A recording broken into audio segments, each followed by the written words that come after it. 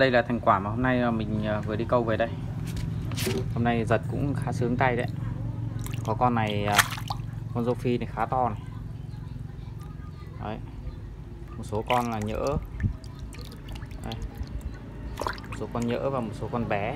Một số con bé thì tôi câu chẳng qua là để cho nó đỡ cắn mồi, rỉa mồi thôi. Tí nữa tôi sẽ thả ra cái vũng nước kia. Được mấy con khá to hôm nay câu sướng tay các bạn ạ. Bây giờ tôi sẽ à, làm lại cái video để cho các bạn xem cái quá trình cái câu nhé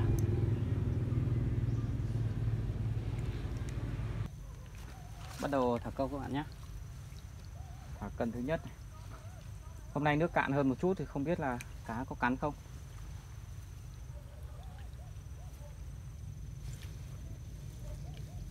Buộc phao tiếp hôm qua đi uh, câu sông về nên là không buộc phao.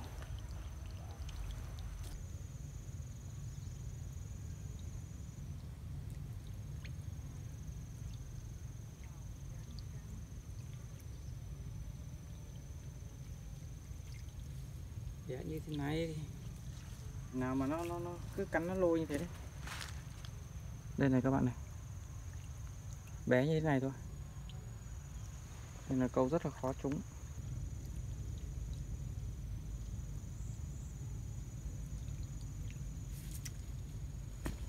Các bạn xem này. Bé như thế này. Tôi phải cố tình tôi tôi, tôi mắc mồi thật nhỏ để câu được cái con bé này đấy.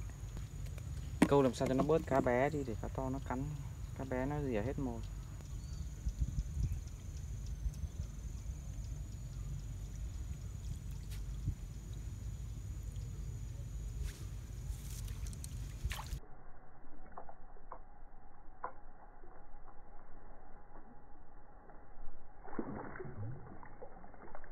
Ồ, oh, rô nhỡ đấy các bạn ạ. Rô nhỡ này. Rô phi nhỡ nhá. Cũng hay ra phết đấy. Cần này lại kéo này. Kéo nó đi. Chắc là mất mồi rồi. Cá nhỏ các bạn. Kéo phao vào. À ui không nhỏ đâu.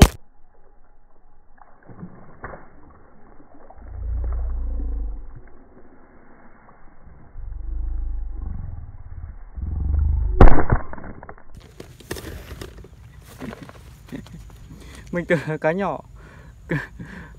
Đúng vào cái chỗ cái cái cái máy quay. To đấy các bạn ạ.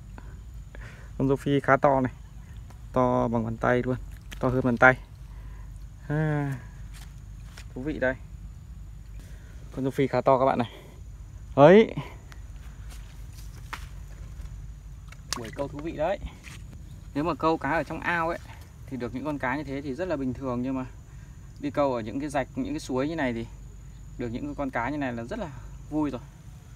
Vừa rồi câu được con cá văng đúng vào cái máy đang quay. Vừa rồi có cuộc điện thoại nên là đi tong mất một cái đi tong mất một cái cái cái cảnh mà giật một con cá. Cũng khá to.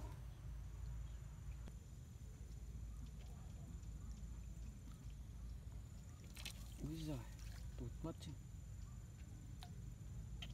Ê mới đau. Lưỡi bé quá.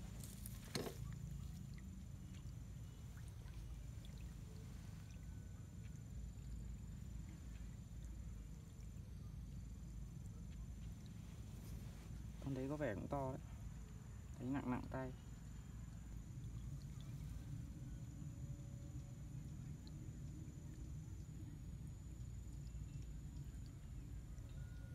Cắn đi.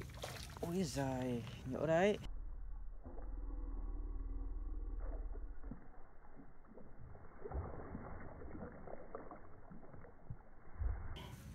Không phải bé đâu. Các bạn ạ tính ra rô phi suối như này là to đấy. Đây. Đây. Khá to đấy. Trượt mấy pha rồi. Chẳng nhẽ trượt mãi à? Ấy à? Đấy, tung cả lá chuối ra rồi.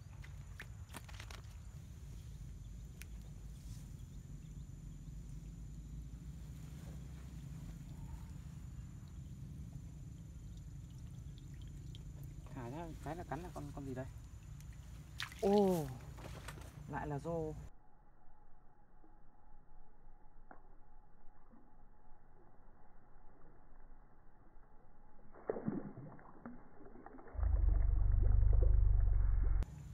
Lại là rô cũng à, khá to các bạn ạ.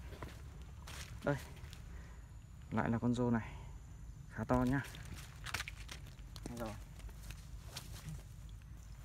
Thú vị đấy hôm nay câu rất là thú vị luôn. Nhiều rô nhỡ, rô to.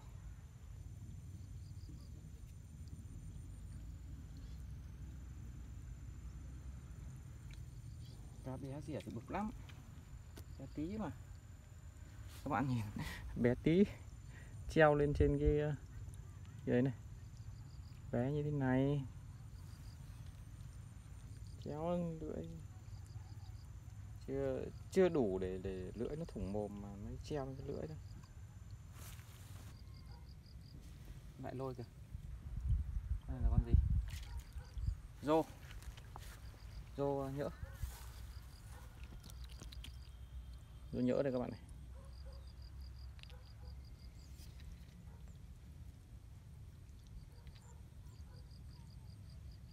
Lại lôi lại lôi lại lôi cái cần này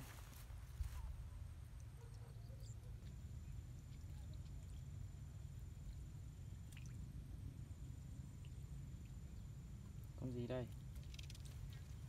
Bé tí mà lôi phao như vậy. Bé như này đi các bạn ơi. Bé như thế này mà lôi phao. Từ từ.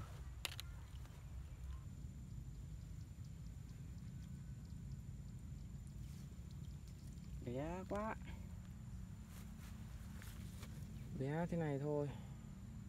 Nhưng mà thi thoảng có con giật thì cũng vui các bạn ạ. Câu cá ở rạch mà. Thi thoảng có một con giật thì cũng vui tay. Đây là thành quả mà hôm nay ờ, mình ờ, vừa đi câu về đây. Hôm nay giật cũng khá sướng tay đấy. Có con này ờ, con rô phi này khá to này. Đấy. Một số con là nhỡ số con nhỡ và một số con bé. Số con bé thì ờ, tôi câu chẳng qua là để cho nó đỡ cắn mồi, rỉa mồi thôi. Tí nữa tôi sẽ thả ra cái vũng nước kia. Được mấy con khá to. Hôm nay câu sướng tay các bạn ạ.